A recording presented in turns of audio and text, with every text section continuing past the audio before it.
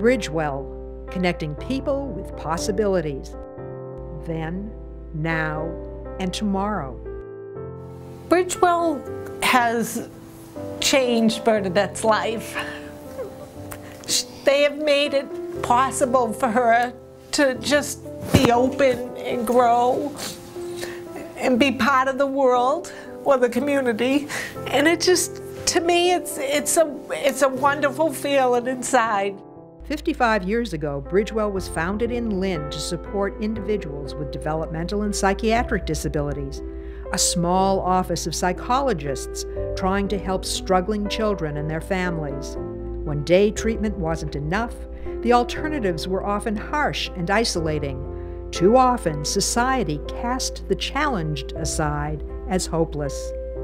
The 1970s brought deinstitutionalization and the creation of community based programs, broadening geographic reach and diversifying services. Bridgewell was there then, developing community residences, day programs, and other support services. It continues today, building programs to meet evolving needs. Someone up above was looking down on us. Bridgewell made sure that any of Michael's needs would be met. Bridgewell has a $47 million budget and serves more than 4,200 people at 92 programs, including 73 residential programs in 20 communities in eastern Massachusetts. Bridgewell provides residential and day services, affordable housing and homeless services, clinical services, recreational and transportation services, as well as employment training and educational services. It has sustained its commitment despite the economic downturn, which made the need for Bridgewell ever more compelling. Harry will be 90 in February and has been with Bridgewell for 30 years.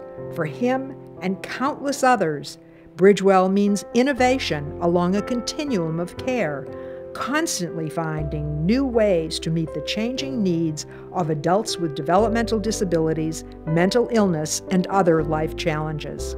I made this. I picked up the colors myself. I really like dancing. I, I like to watch TV.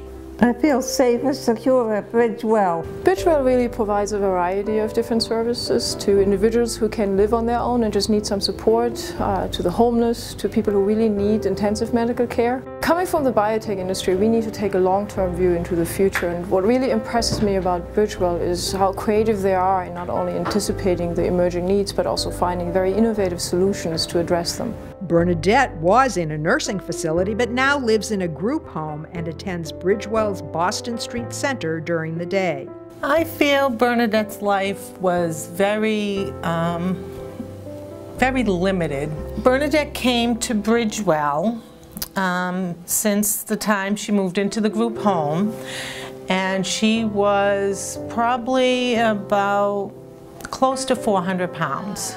Along with the staff at Bridgewell, the staff at the uh, group home, they have brought her out of her shell, helped her grow and want to be part of the world. Um, gonna get me crying. and she she was wheelchair bound. She couldn't participate in anything. The weight just was too heavy for her body to carry. With the help of the staff, started walking and participating. Care for life means building up medically intensive services as people age, and it means developing innovative services for those with developmental disabilities who are prone to Alzheimer's disease. For a lot of our individuals with um, developmental disabilities, particularly Down syndrome, they develop Alzheimer's at a much younger age than the general population. Bridgewell had one of the first um, homes for individuals with developmental disabilities and Alzheimer's. For a lot of folks, having a dark floor in front of them actually looks more like there's a big hole that they're trying to walk over. The surface of all of the floors is actually the same pattern throughout the house. They don't get stuck in a particular room. We're working with the Alzheimer's Association to develop a curriculum specific to individuals with developmental disabilities and Alzheimer's disease that will be offered through the Center for Professional Innovation.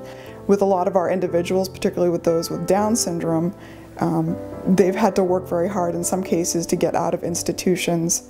They may work for years on job skills to be able to go out and have a paid job in the community, and then they hit their 40s and 50s sometimes and get hit with dementia um, at the end, which seems, I think, very unfair. We're also reaching out to meet the challenge of autism. In partnership with the state's Department of Developmental Services, we are opening a day program in Danvers for young people with severe behavioral challenges, many of whom will be 22 and entering the adult service system.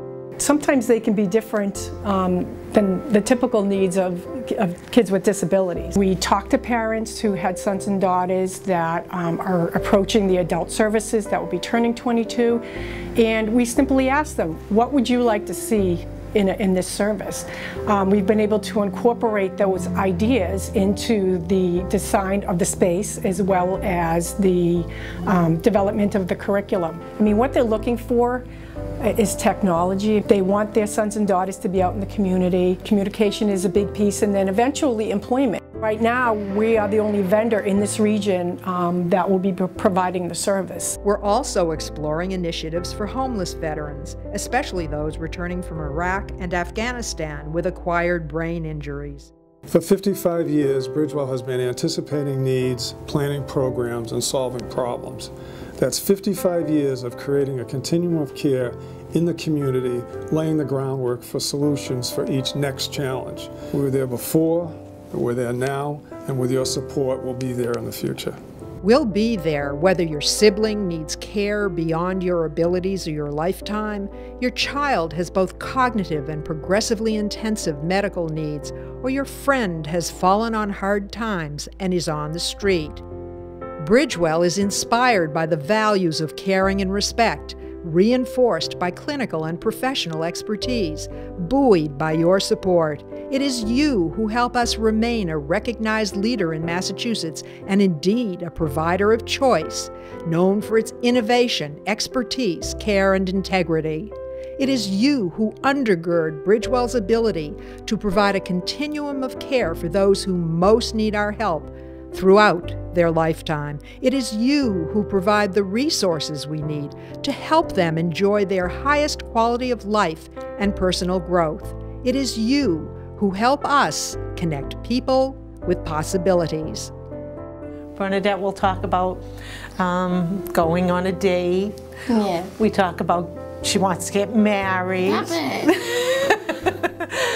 Um, she, she would like to have children. You know, she talks about all those things. The community sometimes can be very um, not open and not caring or wanting to have someone who has a disability you know, participate. I, I cannot thank them enough for all they've done, what they brought her to be as a, as a person I'm so proud of her.